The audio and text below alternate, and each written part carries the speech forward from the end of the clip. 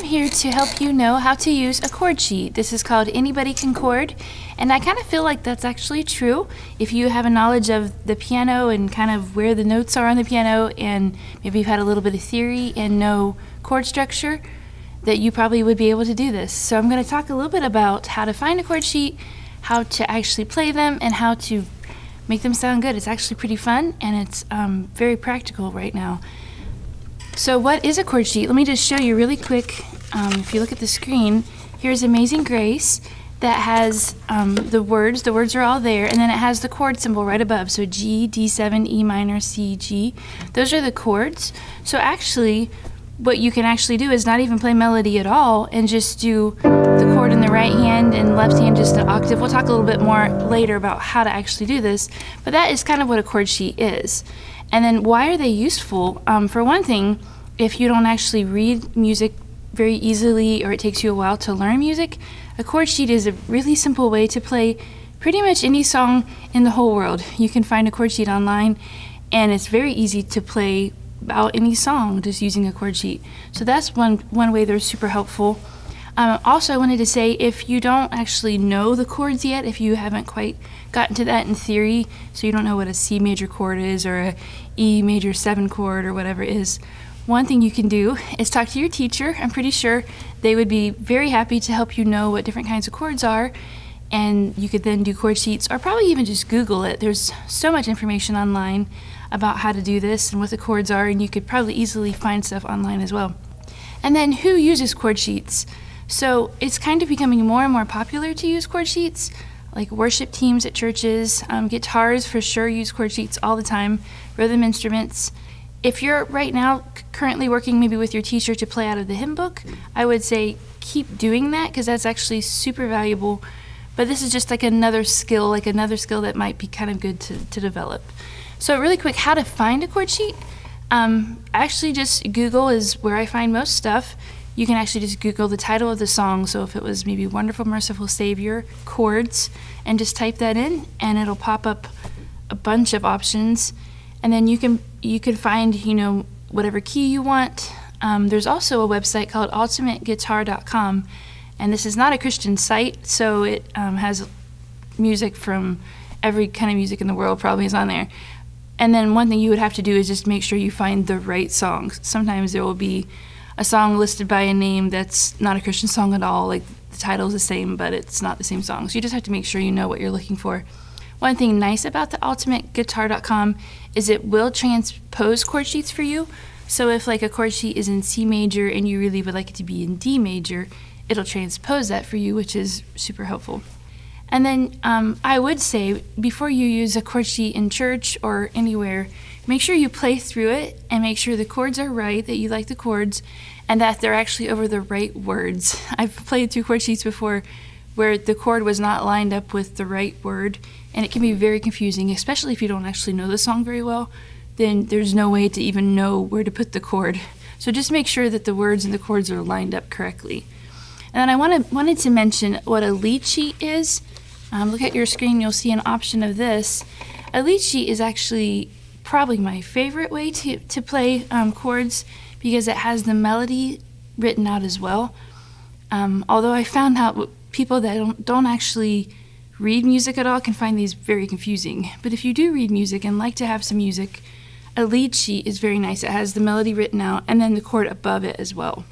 Okay, so now we're going to talk about how to play chords, chord sheets Oh, I would also say most chord sheets that you print off of the computer online aren't going to actually have the time signature listed. I'm not sure why this is true.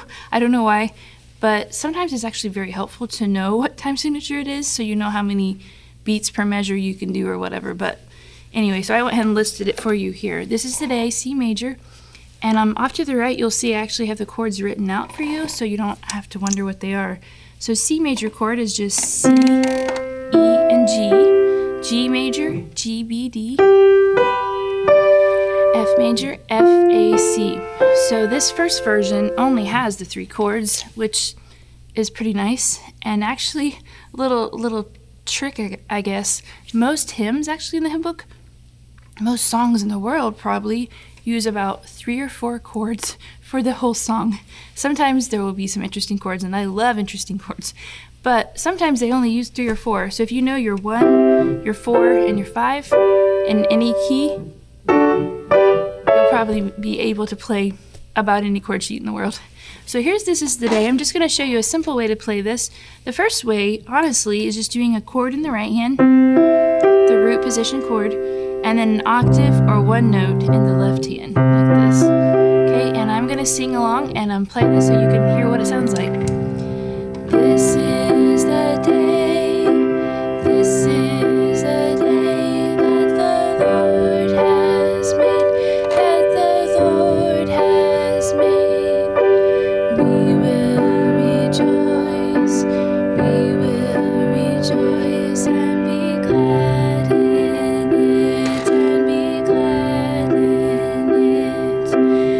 So I'm just playing the, the most simple way to play a chord sheet just a chord in the right hand, and I just usually repeat it like maybe a quarter note pulse, and the left hand just an octave, maybe half note pulse. One, two, three, four, something like that.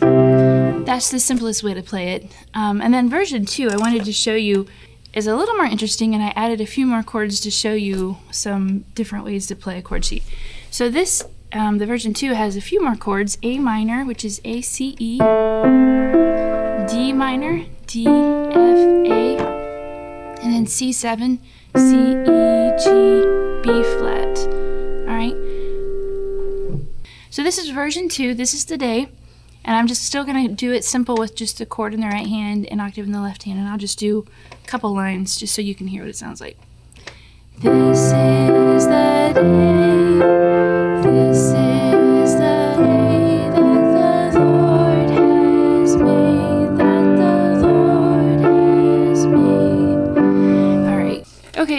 Show you a couple couple ideas of how to actually expand from just the just the simple chord an octave, which honestly is a perfect way to get started. But if you want to add a little bit more, here's a few more things you can do. With your right hand, whatever the chord is, you can actually just do maybe the outer voices. That kind of sounds nice. It just would be a fifth. Kind of sounds good. You can do chord inversions if you've studied chord inversions and know what those are. So C major chord. Here's all the different inversions. So if you were doing this, you could do this.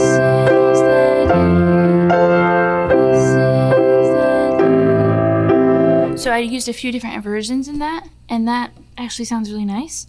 And then another thing I like to do is just add my own chords that I think sound kind of cool.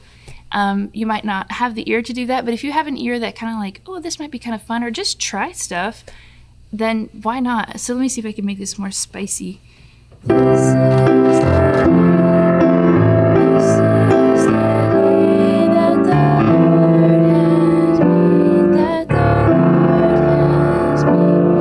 Okay, so there's a few more interesting chords. If you can think of them and find them, that would be awesome. And then any combination of the notes in the chord. So if it's a C major chord, you can do anything based on that chord, on those notes, C, E, and G. Anything based on those on those notes.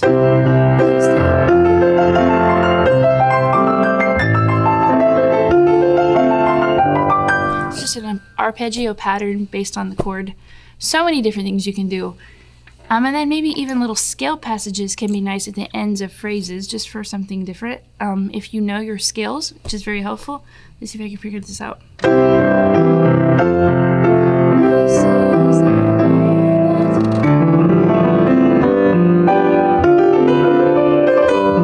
Something like that. Um, you can add scale passages and those are just a few ideas for the right hand left hand, um, here's some ideas you can do. We already talked about the single note or the octave, that's actually fine. That's really fine if that's what you're comfortable with. If you want to add a, little bit more with the left hand, you can always do the one, five, one of whatever the chord is. So C major would be C, G, C, F, F, C, F. Okay, that sounds really nice. You can do the 1, 5, 10. It's actually the one, five, three of the chord, but the three is up an octave. So one, five, three, one, five, three. That'll take a little bit of a wrist rotation to make sure that you keep your wrist nice and loose and flexible, otherwise it might get stiff. So one, five, ten, one, five, ten, one, five, ten. Kind of sounds pretty. This is one I use all the time, one, five, one, two, three of the chord. So again, C major, so one, five, which is G, one again, C, D, and E. One, five, one, two, three. One, five, one, two, three. Just kind of fun. It sounds pretty. I think it sounds nice. And then this is a nice kind of hymn style. If you use an octave and chord, oh, it was the wrong chord.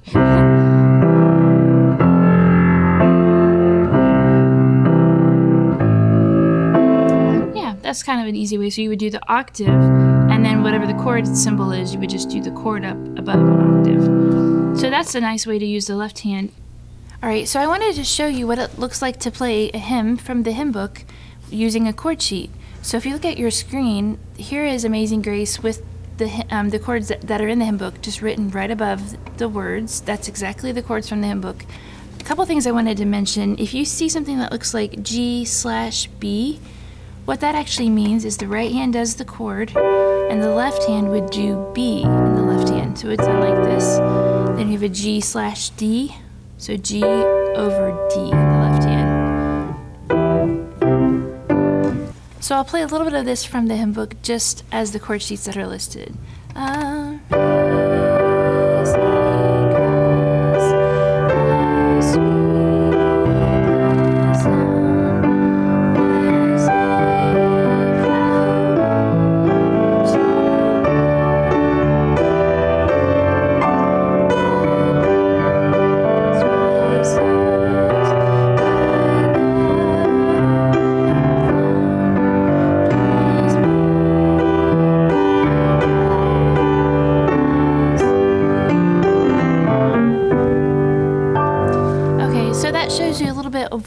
play, like just using the hymn book and the chords written already in the notes above the notes, which is actually very helpful. I want to show you one more chord sheet, and this one I'm just going to add a bunch of stuff to it based on the chords alone, so you can kind of see how you can actually expand this and add more to it, and it sounds actually really cool. This is As the Deer in D major. Um, the chords are listed off to the right. I'm not going to take the time to go through all of them, but I'm just going to try to play this adding some of the, the ideas in the left hand that I talked about and doing a few more things in the right hand just to expand it a little bit and show you what that sounds like as the deer in D major.